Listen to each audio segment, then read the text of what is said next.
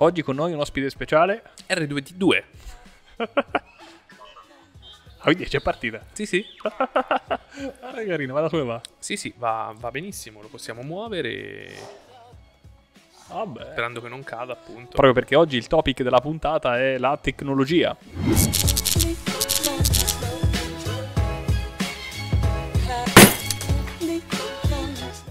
La trasformazione digitale, appunto. Perfetto, trasformazione digitale. Il lo rappresenta benissimo R2D2. Proprio- Occhio che cade dal tavolo magari, eh. No, ma io credo che, che sia abbastanza stabile, che i suoi sistemi di puntamento riescano a farlo rimanere nell'area delimitata. Sì, abbiamo un sacco, riferi- mm, un sacco di riferimenti alla trasformazione digitale. Abbiamo i floppy nello sfondo. Oggi c'è, c'è di tutto, floppy, robot che saranno i nostri nuovi receptionist. Forse. Forse. O ci accompagneranno. Mm. Io, io sono sempre molto scettico, quindi per quanto mi riguarda, anzi che arriveranno i robot Ce ne vorrà come i nostri parecchio. receptionist, concentriamoci sul lavorare con quello che abbiamo perché sarà un problema delle generazioni future, penso. Ok, parliamo di trasformazione digitale nel mondo dell'ospitalità. Mm. Vai. È un argomento interessante perché lo applichiamo nel contesto della- dell'ospitalità, Ok. ma è sicuramente un treno che ha investito tutti gli ambiti, no? Una trasformazione digitale che parte dalla vita di tutti i giorni, quindi sono cambiate le- gli strumenti che utilizziamo quotidianamente, no? Sì, dallo smartphone dici, quindi siamo passati da un Smartphone, fax. Dal fax all'email, Ah. dal, dal telefono con la cornetta e i numeri che si giravano con il dito, Chiaro. e al- allo smartphone, al, al- mi- mi- mi confonde un po' il robottino. Eh. Ai robottini che, eh, telecomandati.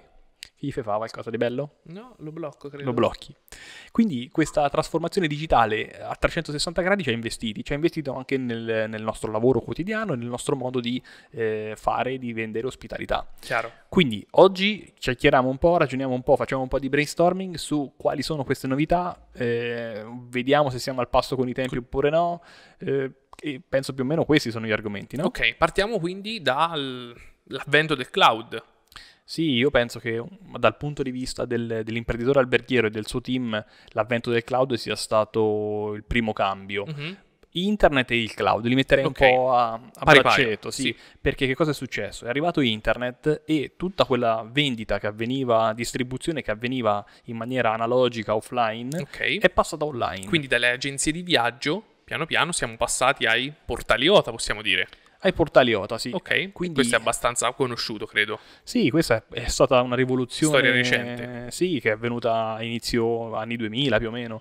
Però ecco, anche lì l'albergatore si è trovato davanti a un bivio. Da una Mhm. parte poteva scegliere di abbracciare questa, questa innovazione Chiaro. di internet, quindi realizzare il proprio sito internet, costruire le proprie pagine, mettere delle foto accattivanti, quindi iniziare già a costruire un proprio brand, una Ok. propria presenza online.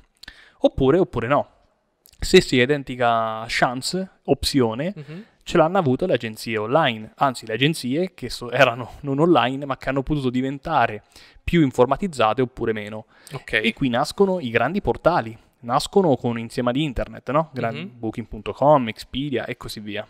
Ok, che ci hanno appunto portato la diffusione degli alloggi di, massa, un turismo anche più accessibile a tutti, permettimi di dirlo. Come no? Perché tanti- tante persone che magari per prenotare un viaggio prima partivano o dal classico eh, hotel di fiducia, quindi per tanti anni sono andato in vacanza su un hotel, continuo ad andare lì, Sì. lì hanno permesso di, di portare anche più destinazioni.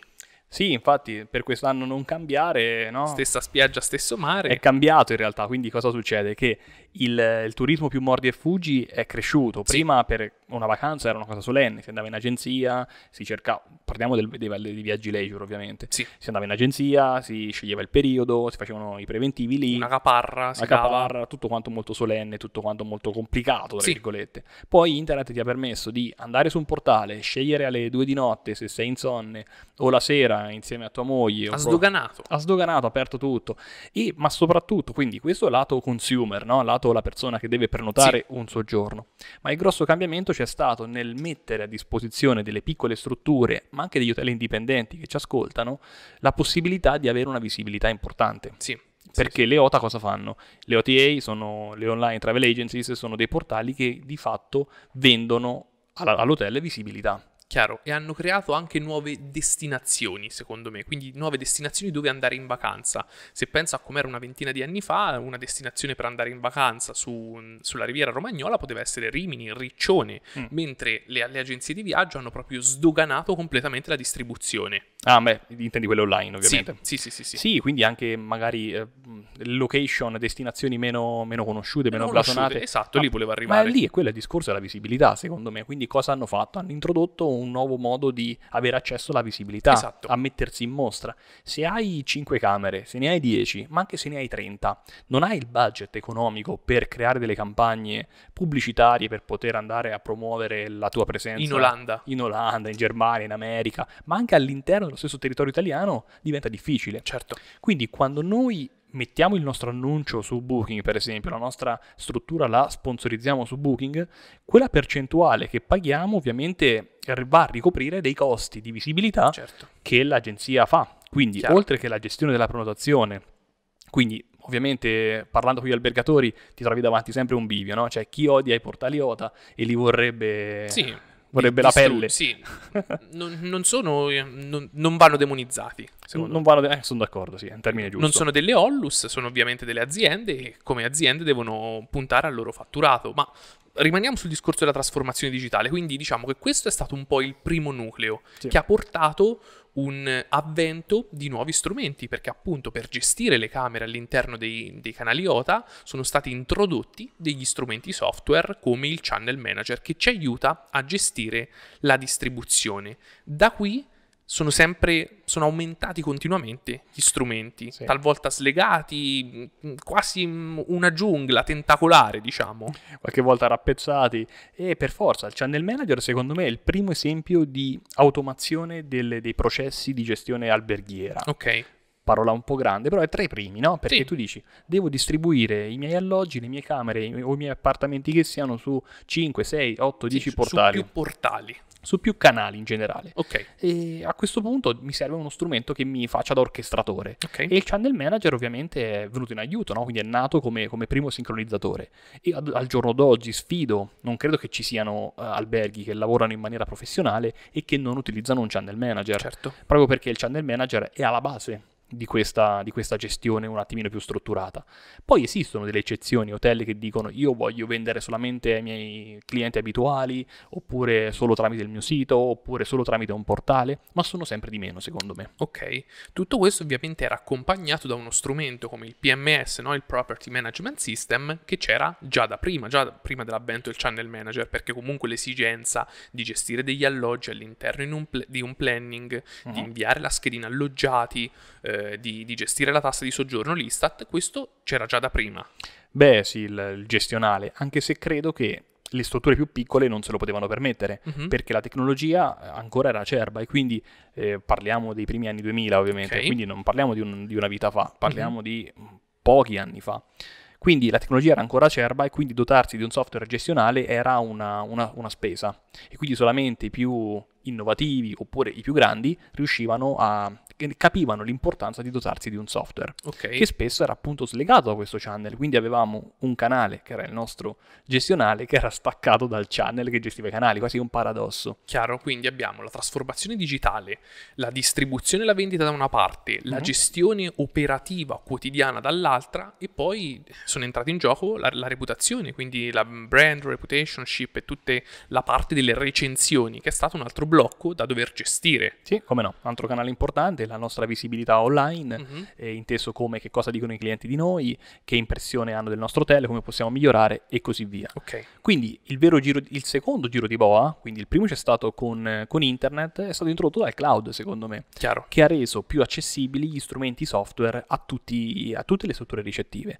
Oggi abbiamo hotel di hotel, bed and breakfast magari o extra alberghieri di 5 camere che già hanno un software gestionale, Chiaro. come ne abbiamo ovviamente soluzioni da 200-300 camere che hanno ovviamente anche loro lo stesso software, magari in una versione leggermente più avanzata, chiaro. però il cloud cosa ha fatto? Ha permesso di ridurre i costi di sviluppo, di distribuzione e di installazione di questi applicativi eh, per, per far sì che qualunque struttura ricettiva se li potesse permettere. chiaro. Quindi tutto si è semplificato con il cloud. Prima dovevi comprare un server, lo dovevi mettere dentro uno stanzino, no? con la, la, ridondanza per internet, quindi la doppia connessione per evitare di certo. andare offline, magari un gruppo di continuità oppure una batteria. Un sistema di backup. Un sistema di backup, un tecnico che te lo configura. Adesso con il cloud cosa fai? Compri un software cloud, per esempio noi abbiamo Slope, ovviamente, software gestionale tutto in uno, uh-huh. che con un'unica piattaforma che integra funzionalità come il channel manager, il gestionale, il booking engine, il software per i preventivi, anche una struttura piccola può, con un unico interlocutore, avere accesso a tutti gli strumenti di cui ha bisogno per gestire in maniera digitalizzata, Chiaro. avanzata, un robottino quasi, un robottino eh, software, il proprio hotel, la propria struttura. Chiaro. E questo secondo me è il cambio di paradigma incredibile che c'è stato. Chiaro, ma secondo te dov'è la linea di demarcazione di tutta questa trasformazione digitale. All'inizio hai parlato di robot, abbiamo scherzato no, sul concetto di robot, ma, ma, dov'è la linea di quello che può essere automatizzato, quello che deve fare ancora un umano, tra virgolette? È bello, sì. Eh, la linea dipende ovviamente, ci sono delle, certe operazioni che non possono essere demandate al, alla, alla, macchina ed è per quello che all'inizio della puntata scherzavamo sul robottino sì. che avrebbe fatto da receptionist oppure no, proprio perché credo che, cioè, non so cosa ne pensi tu Edoardo, ma mh, i robot ancora avranno molto molto tempo sì. prima di poter sostituire un intervento manuale a una, una, telefonata, per esempio. Ti chiama un cliente, un potenziale cliente, che ha visto la tua struttura, che ha letto le tue recensioni, che sta valutando di soggiornare da te, però è indeciso sulle date, non sa che servizi offri, magari Vuole anche una piccola consulenza per il suo viaggio. Vuole essere rassicurato, vuole fare quattro chiacchiere perché ha voglia di parlare un po'. Anche perché ricordiamoci che se chiamano già hanno fatto un bel passo in avanti verso la tua struttura. Ma sì, no? siamo al 70% secondo me. Okay. Se poi dopo eh, riesci con un approccio professionale, quindi il, l'addetto al booking, sì. che risponde alla, te- alla, telefonata in maniera professionale, riesce a dare quelle informazioni di cui il potenziale cliente ha bisogno, magari proporre date alternative nel caso in cui non si abbia disponibilità, certo. oppure cercare di spingere un alloggio di tipologia superiore o inferiore, oppure certo. cross-sell, veramente è lì che sta la differenza ed è lì che secondo me la tecnologia un pochino scricchiola perché ha bisogno di questo olio di gomito, di questo buon senso certo. che ancora non ha sì, quest'anima sì, che non ha, per fortuna proprio. Ma no. sì, ma possiamo vederle non in contrapposizione, no? Spesso si fa l'errore, ma sai, l'umano contro la macchina, ma magari può essere un binomio, no? uomo e macchina. Quindi alcune operazioni obbligatoriamente le devono fare le macchine, in modo tale che poi l'uomo, il receptionist, riesce a investire quel tempo in azioni che portino valore, perché poi è questo no, che fa l'uomo, l'uomo dà valore. Sì, l'uomo dà valore, bella, mi piace. Quindi da una parte abbiamo nostro, le nostre operazioni eh, macchinose che esatto. devono essere gestite dalle macchine, le operazioni invece che hanno bisogno di un tocco umano che devono essere gestite dall'uomo, alcune zone grigie nel mezzo devono essere gestite un po' e un po'. Quella prerogativa però che abbiamo, che dobbiamo assolutamente soddisfare, è avere dei, dei, delle strumenti, degli strumenti e um, anche una conoscenza, perché comunque bisogna essere formati. Sicuramente chi ascolta questo podcast e chi vede questo video ehm, ha già l'appiccio giusto, esatto. no? l'approccio per dire mi voglio documentare, voglio capire come si può lavorare bene. Quindi questo è un aspetto fondamentale. Il voler lavorare bene insieme agli strumenti giusti sicuramente porterà ottimi risultati e vi permetterà di essere digitalizzati al punto giusto, senza esagerare, insomma.